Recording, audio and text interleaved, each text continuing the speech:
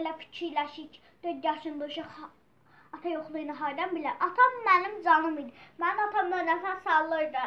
Bu balaca qızcığaz atasızlığın dadını çox erkən dadıb.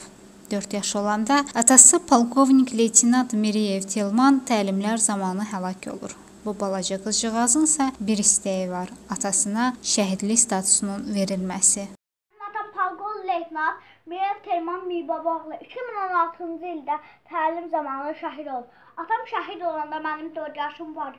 Bəlkə də çox elə fikirləşik. 4 yaşında uşaq ata yoxluğunu hardan bilər? Atam mənim canım idi. Mənim atam mənə nəfəs salırdı. Mən atamın şəkillərinə baxıram, özümü təsəlli eləyirəm.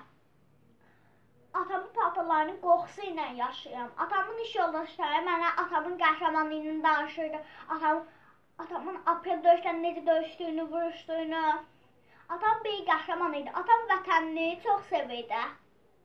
Atama dedim ki, ata nə olar bir gün məndən evdə qal. Atam dedi, yox qızım qala bilməyəm mən səndən evdə. Mən hərbçiyəm, gedib vətən bizi qorumalıyıq. Və atam da vətən yolunda şəhid oldu. Bu günə kimi atama şəhidlik statusu vermədilər. Prezidentimiz İlham Əliyev atama medal verib. Sabah naziri atamdan şəkil çəkdirib, ona medal təqdim edib. Prezidentimiz İlham Əliyev, Azərbaycan birinci xanımı Mehriban Əliyev Cavab nazir, sizdən xahiş edirəm ki, atama şəhidlik statusu verin.